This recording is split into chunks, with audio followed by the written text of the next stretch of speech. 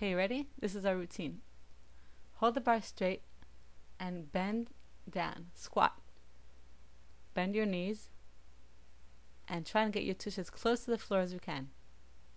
Keep your back straight and move slowly. Trying to really feel those muscles working. Again, note that every time you stand up, your back is straight and bend down. And and now the next group of muscles. The idea is to work every time a different group of muscles. So one group gets tired and then the next one works. And then one group works and the next one rests. So you pull the bar up towards your chest. Make sure your back is straight. Right, your tush is tucked in. Pelvis up. And pull the bar towards your chest. All the way down, straighten your elbows and pull it up. Now, keep, make sure your back is straight and pull your arms forward.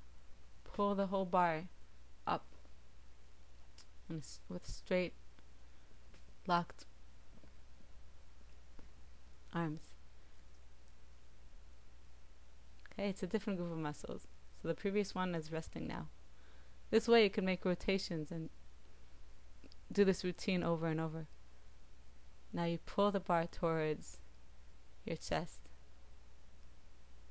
Okay, make sure again your posture is good and do it slowly. Don't move your elbows away from too much away from the body. Just hold them in the air and straight. Don't move them around too much. Make sure your elbows are straight down towards the floor and pull it in and breathe and pull it in. You could do it. Right on. Okay, now you take the whole bar and move it uh, behind your head. Now this is for your abs. Start twisting the bar from side to side, but make sure your knees are bent and twist it around as much as you can, as far as you can. Really feel all those muscles of your abs moving. Make sure that you're really using the right muscles. Whatever muscles you stress, those are the muscles that are going to be used. If you only focus on your arms, you're going to feel only your arms. So feel your abs. Okay, now, next one, you just move straight into bending. And bend down and pull up. This is for your butt. Okay, make sure your butt goes all the way back. You bend your knees a little bit, but it's not a squat. Your back is straight when you go down, and your knees are pretty, not locked, but straight, 90 degrees towards the floor, and pull up for a straight stand. Make sure your posture is good. Yeah, take the butt as far back as you can. And do 10 of these, or 12 or 15 of each of these exercises. Now bend 90 degrees and start pulling the bar towards your towards your stomach or towards your ribs really. Okay? And pull them in and straighten your arms all the way down every time and pull them in. It's kind of like rowing. Pull them in. This could be like the back of your shoulders. Do it a little bit slower than I'm showing here, because you really, it's not really supposed to be very aerobic. It's it's to strengthen you. Okay, now back to the mattress. You get down. You hold the bar up and pull your uh, your legs towards it. The bar is just helping you stabilize. It's not really feeling heavy. But this is really a lot of work on your stomach. Try and do this slow. Okay? Just really get your abs working. Your abs, maybe your butt even. Whatever muscles you focus on, they're the ones that are going to work. Now this is for your chest. It's good to work out all of the body. Don't be afraid to work out your arms too. And push. Push it upwards. And breathe and push it up. Now this one is for your abs. Just notice note that you're holding your abs really tight and just do what I'm doing. But notice you're not going to feel it so much in your arms if you hold your stomach really strong. Hold your stomach and your butt. This is really really good for your for your for your abs if you really focus on the stomach.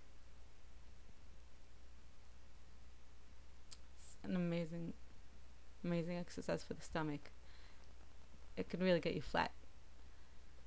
Now you could do the same thing, but just bending your arms backwards.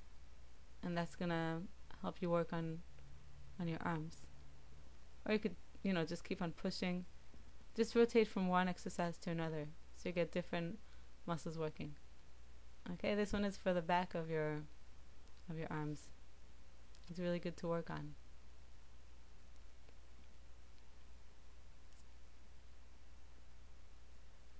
And now grab weights. It could be smaller weights, dumbbells, or a kind of juice fruit or something. And 90 degrees, pull it towards you. Make sure your arm doesn't go too much higher than your back. It's supposed to be pretty much in the straight line with your back. And pull towards you. There you go. Make sure that you do both sides, not only one hand.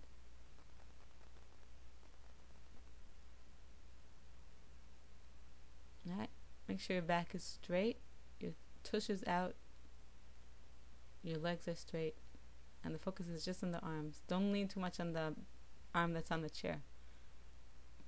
More hold your own body up. Alright, now move it to the back of your head and pull it up with both arms. Try and keep your arms as close to your ears as you can. Right? This will help you to not get all dangly, you know. And push him up. There you go. Keep on holding your whole body straight, stomach in, pelvis up. And now let's do some abs. But make sure you feel your posture, feel what arms, what muscles you want to focus on. And this is going to be for the sides of your abs. It's really, really good. Again, if you lean too much forward or too much backwards, you're going to feel it. It's going to be just different muscles. You could do it. But just listen to your body and, and work out the ones that you really want to work on. It could be the, your lower stomach, your upper stomach. Really hold in that muscle that you're focusing on.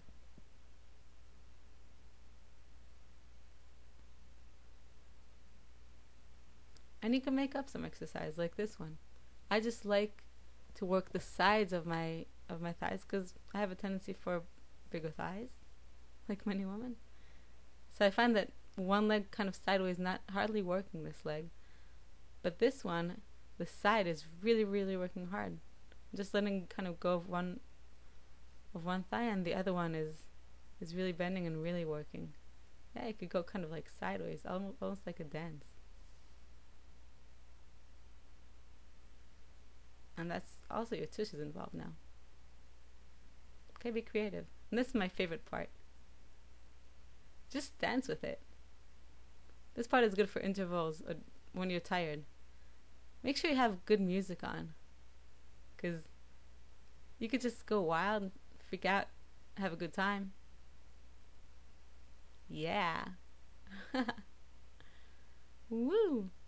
You see, I'm just using a bunch of other muscles and I'm intertwining it with the other exercise. Right, make sure you have good music on. Feel free, feel sexy. Have fun with it. Yeah. You can put makeup on to feel pretty. Have a mirror in front of you. Just feel good with it. It's a good interval when you're tired of doing those over and over and over, those routines. Woo! Did I mention good music? Make sure you have something inspiring and fun.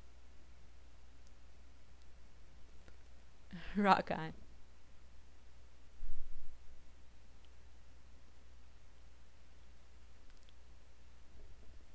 So I hope you guys learned something and that you feel better and stronger and fit. Hope you enjoyed.